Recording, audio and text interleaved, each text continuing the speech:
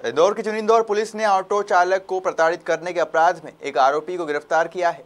पिछले कुछ दिनों पूर्व संतोष नामक व्यक्ति ने प्रिंस और लोकेश से प्रताड़ित होकर अपने आप को आग लगाकर आत्महत्या करने का प्रयास किया था, जिसे उपचार के लिए अस्पताल में भर्ती किया गया था, लेकिन हालत गंभीर होने के कारण उसकी मौत हो गई थी। फ़िलहाल पुलिस ने लोकेश और प्रिंस के खिलाफ प्रताड़ित करने का अपराध दर्ज करते हुए एक आरोपी प्रिंस को गिरफ़्तार कर लिया है। जबकि दूसरे आरोपी लोकेश की तलाश की जा रही है। थाना जूनिंदौर क्षेत्र की घटना है। अंतरू और संतोष नामक व्यक्ति ने स्वयं के ऊपर जो है वो घासलेट का तेल डालकर आग लगाने का प्रयास किया था और तकरीबन सात आठ दिन यह उपचार इसका निजी अस्पताल में चलता रहा और उपचार के दौरान जो है इसकी मृत्यु हो गई।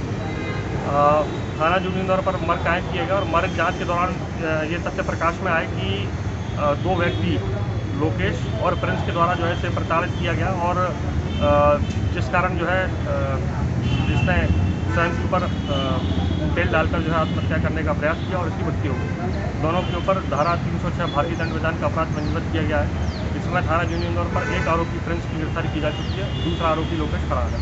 ठीक।